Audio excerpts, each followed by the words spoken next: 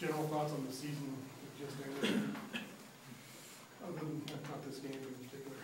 Well, yeah, not very good, you know, it's not something we're used to, and it's obvious that we have work to do. It, um, I will say this, though, about these kids, these kids are good kids, there's a lot of good young people here, you know, through, through tough times, they've, they've kept it together, and, uh, I appreciate that, but, uh, it's absolutely not something that we're used to, and don't ever want to be used to, so it's just, you know, unfortunate year for the seniors who are leaving that way, feel for them, and, uh, so, Do you expect to return next season as coach, or will you, I don't know, I, and, you know, my, my job is to develop players, you know, work to do, and, you know, go back to work tomorrow and get, get ready to keep going.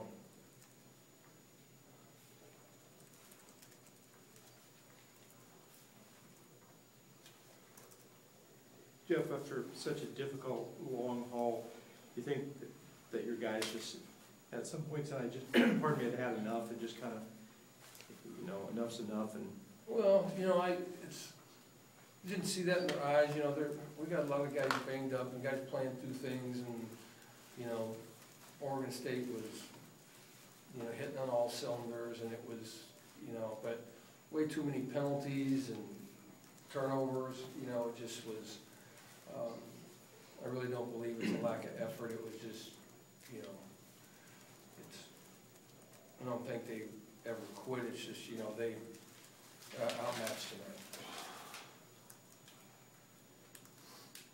if it was, it was believed that uh, with the upgraded facilities um, on campus, that created a little more pressure on you to produce? Is that something you can say you felt during the course of the season, like now you have what you said you wanted and it didn't go the way you wanted, was that pressure?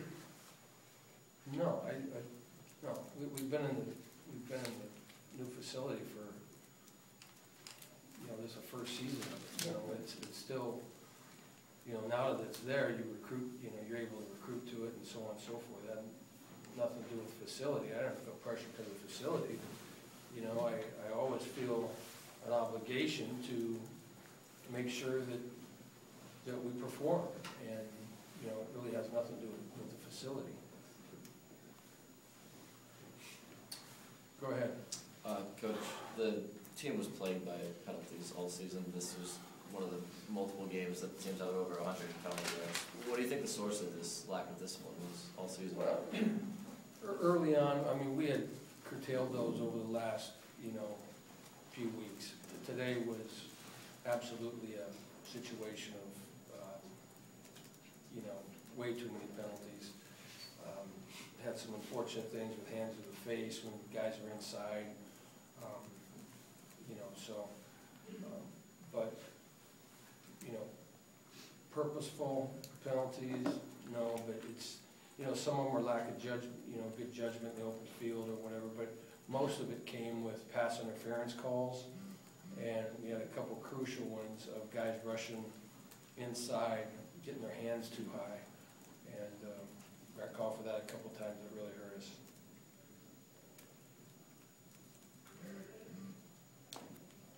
how would you assess Bridgford's game tonight?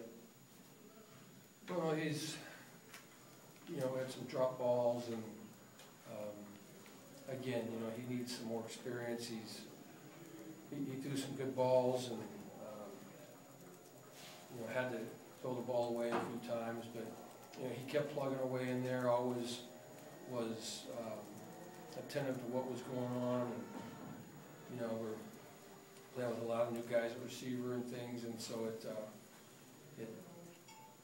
it's, he made some good throws. He made some good throws and did what he could.